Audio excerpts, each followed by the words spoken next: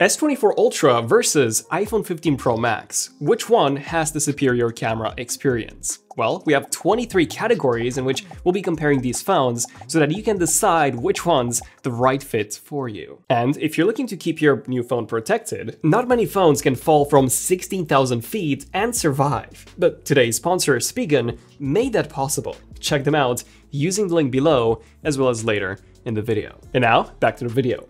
Both of them have some state-of-the-art cameras. The main difference being that Samsung has a much higher resolution 200 megapixel main camera as opposed to Apple's 48. And Samsung also has dual telephoto modules, a 3x and a 5x, as opposed to Apple's single 5x. Starting off with some outdoor shots, in this first one, they both did a great job at exposing the bright scene correctly. However, if we zoom in and we take a look at the trees in the distance, the iPhone exposes the image better, as some of the trees are blown out on the Samsung. The iPhone also gave this photo a warmer look as opposed to Samsung's cooler look. And if we zoom into the bottom left corner, you'll see that the ground is also sharper on the iPhone. In the second image, I do prefer Samsung's shot. Not only are the colors more vibrant, but I feel like the iPhone raised the shadows a bit too much, where the bushes in the background look quite gray, and even the tree on the right lacks the punch that it's got on the Samsung. I've also noticed that if you zoom in, the iPhone has this weird double line effect. Not really sure what's going on here. And in this final outdoor shot, which was taken just as the sun was setting, I do prefer Samsung's processing more than the iPhone's, which raised the shadows a bit too much and the ground ended up looking gray.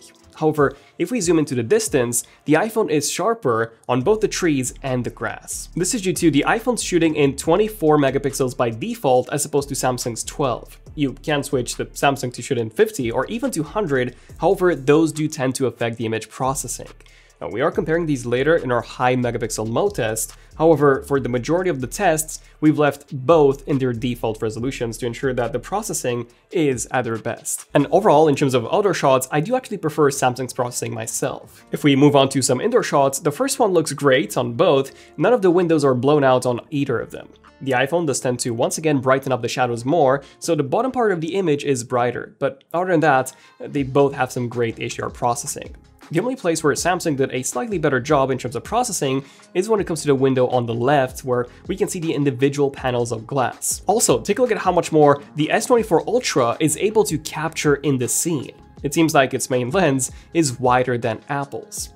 Then we have our second indoor shot, which was a bit more challenging as you have the super bright areas where the sun is shining in the front and above, and what is covered area in the shadow. They both did a pretty good job in terms of their processing. This time around, the Samsung was the one who raised the shadows more, and we ended up with a brighter image, whereas Apple was more on the darker side. Other than that, both managed to retain the highlights quite well, a bit better on the Samsung here, which managed to retain the roof uh, better and also the door. And of course, that no indoor shot is complete without a food shot. And here, they both did a pretty good job with some very similar colors. The iPhone had a slightly wider focus, which we can see if we take a look at the sauces or the left-hand side of the plate, at the same time, Samsung sharpened the chicken bites more, which uh, does make them look crispier to be honest. So when it comes to indoor shots, they're both very good here. Personally, I would pick the Samsung because of the extra field of view, which I think is even more important indoors, where you may not have the extra space to take a step back. Now let's compare the zoom modules. If we start at 2x zoom, this is where both phones would be using their sensor crop feature, and they're both very good here. The iPhone is a bit brighter, although if we just take a look at the details, they're essentially the same. The S24 Ultra also has that secondary 3x module, so any photos that you take at 3x or 4x would be better on the S24 Ultra although the difference in quality isn't that big. If we move on to 5X, which both phones have dedicated modules for, Samsung does a significantly better job. The leaves are way more detailed, there's less noise, and even the colors are far more natural on the S24 Ultra. Moving on to 10X, where both phones would be digitally zooming on their 5X modules, Samsung once again does a much better job. The features of the statue are far more defined, and there's also considerably less noise. And if we move on to 25x, which is the highest possible zoom on the iPhone, the difference is even greater. Now, the S24 Ultra maxes out at 100x zoom, so here's a quick example as to how they both compare. Of course, on the iPhone, you have to manually zoom in at four times to get this magnification. Overall, if you care about zoom, the S24 Ultra is clearly the superior choice at both low and high zoom ranges. Now, if we compare the ultra-wides, it does seem like Samsung is doing a better job here too. In this example, the S24 Ultra uh, does a better job at exposing the scene with a lot of the shadow details being lost on the iPhone. The S24 Ultra's ultrawide is also sharper if you take a look at the water, and uh, a lot of the other areas too. In our second shot, which was taken in a brighter scene, the difference isn't as big as before, but the S24 Ultra still does a better job once again. If we zoom into the bottom left corner, the iPhone is quite blurry as opposed to Samsung, um, and if we zoom in further ahead, the S24 Ultra is once again more detailed. And now, if we take a look at the ultrawide indoors, aside from the brighter and cooler image on the S24 Ultra, the differences are quite small. They both have about the same level of brightness in the center, with the Samsung being noticeably sharper on the corners and also with less noise. I do prefer the colors on the iPhone's ultrawide here, but overall, it does seem like Samsung has the superior ultrawide, at least for daytime shots. Now, their ultrawide modules do support macro shooting, and this is the result that you can get from both.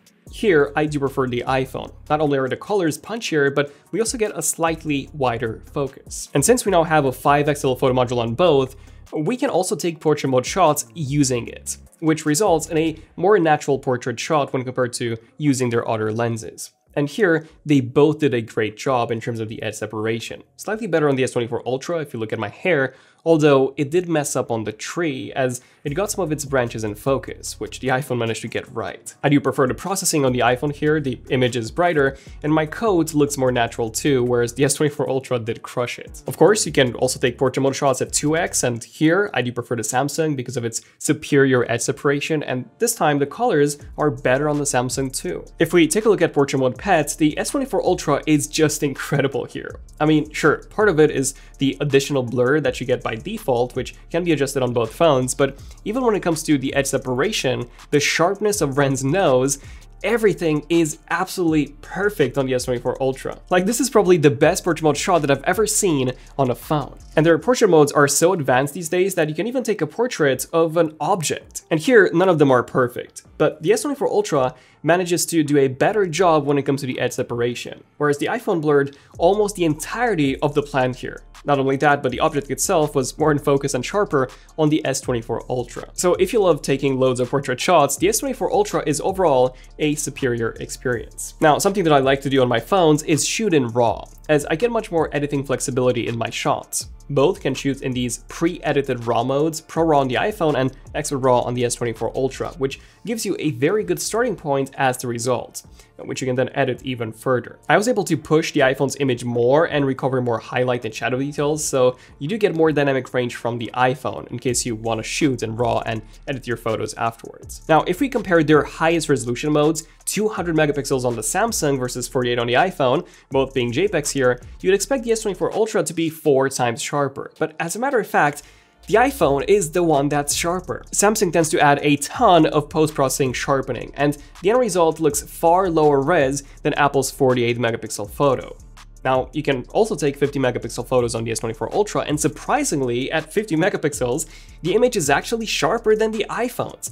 If we look at the football pitch here, or the buildings in the distance, there is more detail. So as long as you're using the 50 megapixel mode, the S24 Ultra will give you the sharpest looking image. Now, shooting these camera comparisons can be quite tricky, as we are carrying multiple phones and we need to make sure that we keep them protected. So earlier I mentioned that one of Spigen's cases was discovered after an incident where a phone was sucked out of an airplane at 16,000 feet and survived. Like, there's literally no drop test like it. This protection now comes to the S24 lineup, with Spigen's new MagFit range that features MagSafe compatibility with their own 100% original teardown design. Their Tough Armor MagFit now has MagSafe functionality also, with reinforced shock absorption and a handy kickstand. Their newest Enzo Aramid case uses Kevlar for some insane protection, providing a textured feel and style at only 47.5 grams. And finally, the Cryo Armor offers raised edges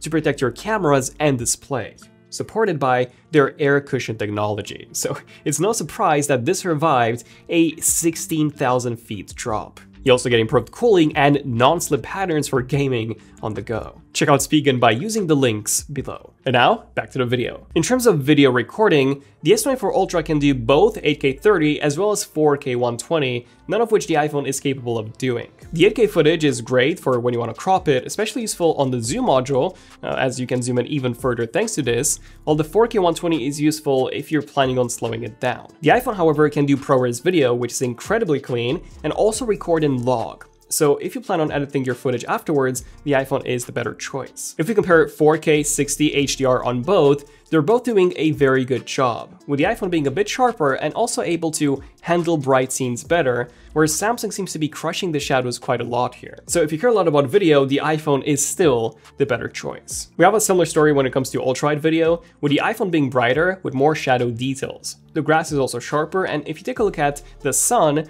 you'll see that we start seeing some banding on the S24's footage, whereas the iPhone's is still incredibly clean. Both phones can also shoot in slow motion, 1080p at 240, while the S24 Ultra can also do 4K 120. Now, if we compare the slowest modes on both, which I'm assuming most people would be using, uh, they're equally as slow.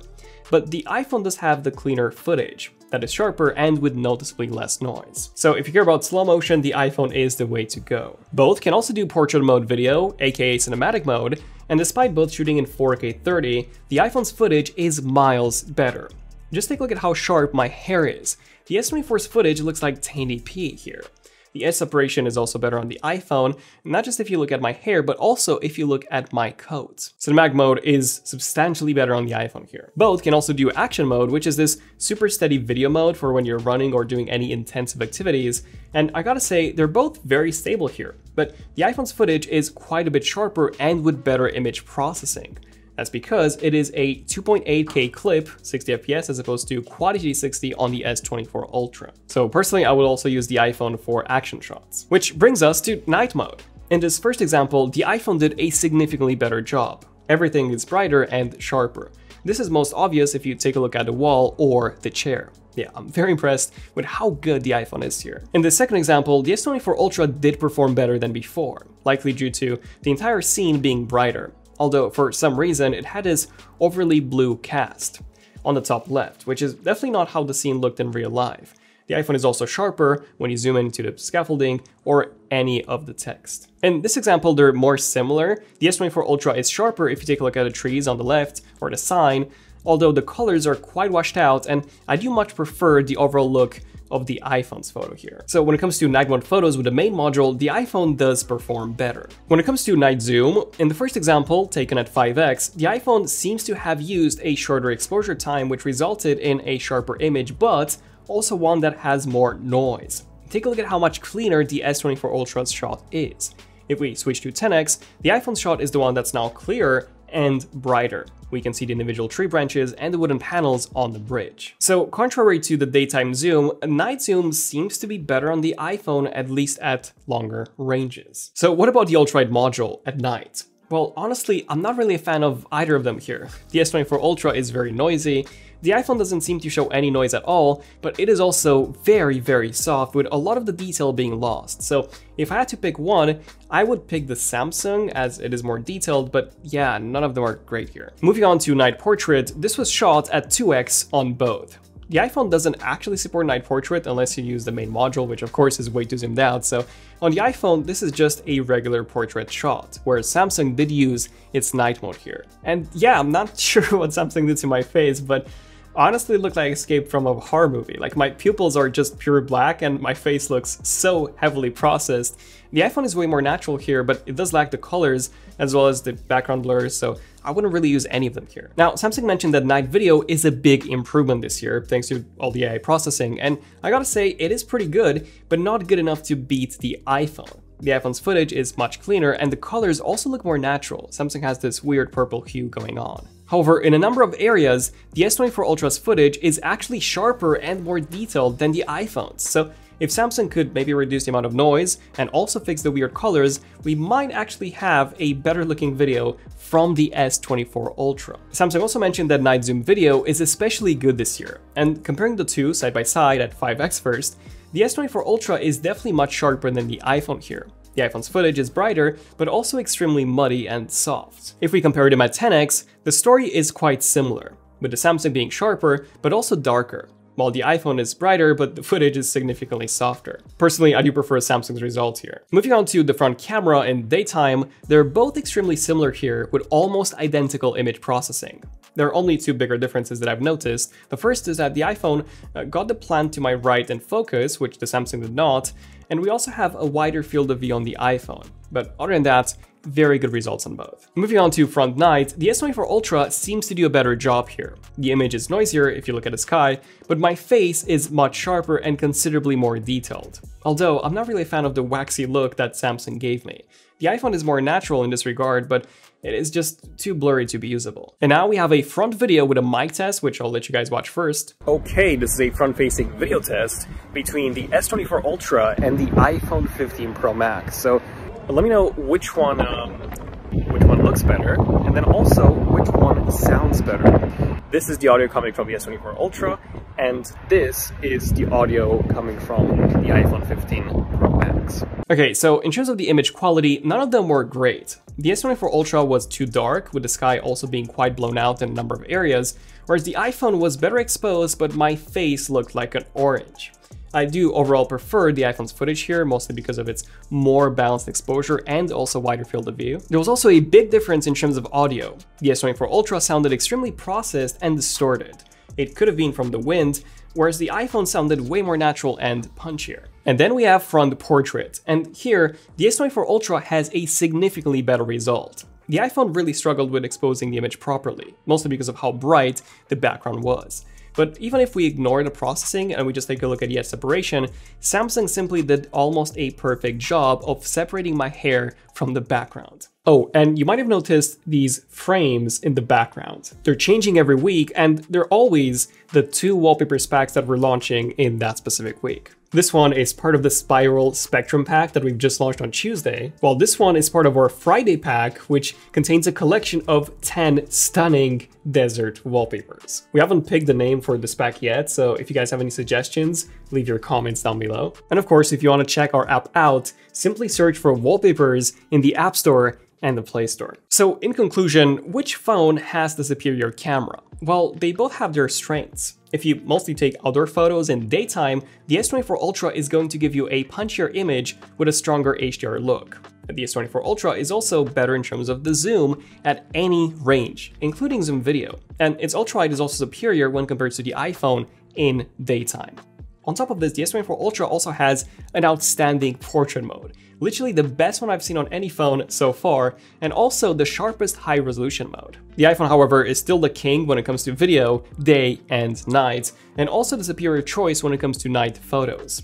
And if you care a lot about the special camera modes like cinematic mode, action mode, macro, slow-mo, raw, uh, the iPhone is also better there too. And if you take a lot of selfies and front videos, the iPhone is also the superior choice due to its wider angle and the superior front video. Overall, it does depend on what type of shots you take the most. So let me know which phone are you going to go for next, and stay tuned for our upcoming camera comparisons and future videos too on the S24 Ultra. I'm Daniel, this means Tech, and I'll see you guys in the next one. Zen Tech, signing out. Cheers.